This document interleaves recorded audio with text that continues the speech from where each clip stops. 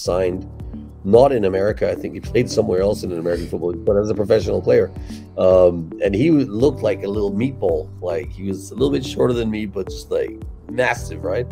Like you would imagine American football player as a as a linebacker, or it looked like kind of. Um, and so I went up against him in the tug of war, and it was really hard. And I was just thinking, man, as I'm doing it, because it went on for a long, long time, and I, I felt like I almost had him, but then I didn't, and he didn't want to give up, and I was just like going back and forth in this thing, and I just thought, you know what, this is taking too long. I got too many other exercises and, things to go through for the rest of the day, so I'm just gonna give this to him.